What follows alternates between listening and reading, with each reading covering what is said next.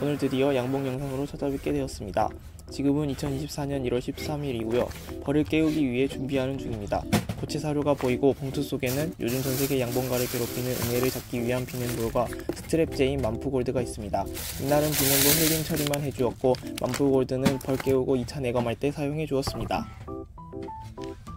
저 뒤쪽에는 화분떡이 준비되어 있어요. 화분떡은 꿀벌 애벌레들의 먹이이자 꿀벌이 로열 젤리를 만드는 원료가 되어주는 중요한 먹이입니다. 주로 화분, 맥주, 효모, 대두단백, 설탕을 사용해 만들어집니다.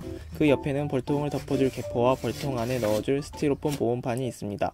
벌을 깨운다고 해서 아침에 늦잠 자던 저를 흔들어 깨우시던 부모님처럼 벌을 깨우는 건 아니고 봄이 다가오니 벌들에게 산란과 육아를 시작하자 라는 신호를 주는 느낌입니다. 산란과 육아를 위해서 꿀벌 육아의 3대 조건을 충족시켜주는 것이 중요하며 이는 벌을 깨울 때 가장 중요한 요소입니다. 아빠의 말을 들어보면 양봉을 시작하신 초창기에 제가 있는 전남 지역은 설이 지나야 벌을 깨우곤 했다고 합니다. 그런데 지금은 온난화 때문인지 갈수록 깨우는 날짜가 빨라져 1월 13일에 깨우고 있습니다. 벌통 내부에 전기장판이라고 할 수 있는 전기 가온 장치를 설치한 양봉 농가는 12월에 이미 깨웠다고 합니다. 벌을 일찍 깨우는 이유는 온난화로 인해 2월 초에 깨우면 따뜻한 날에 활동을 일찍 시작하여 먹을 게 없어 아사를 할 수 있기 때문입니다. 그리고 산란을 해버리면 육아를 위해서라도 화분, 먹이, 물 등이 필요합니다. 마지막으로 벌을 깨우며 응애를 방지해야 하는데 봉충이 생겨버리면 초기에 응애를 잡지 못해 응애 방제가 힘들어집니다.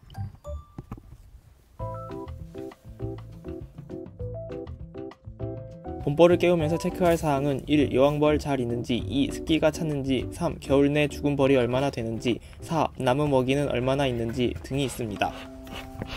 본격적으로 벌을 깨워보겠습니다. 우선 볼통이를 다 드러내고 훈연을 해줍니다. 훈연을 하는 이유는 연기를 싫어하는 벌들이 볼통 아래로 들어가 내검이 씌워지고 훈연을 하지 않으면 공격성이 늘어 벌들이 사나워지기 때문에 이를 방지하기 위해서입니다. 그리고 제일 먼저 응애 방제를 위해 비냄볼 흘림 처리를 해줍니다.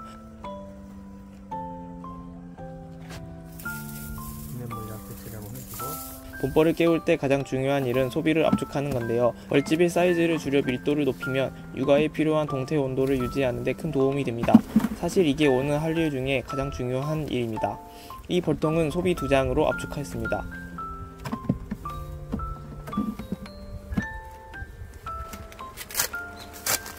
다음으로 화분떡을 붙여주고 수분이 날아가지 않도록 비닐을 위에 덮어줍니다.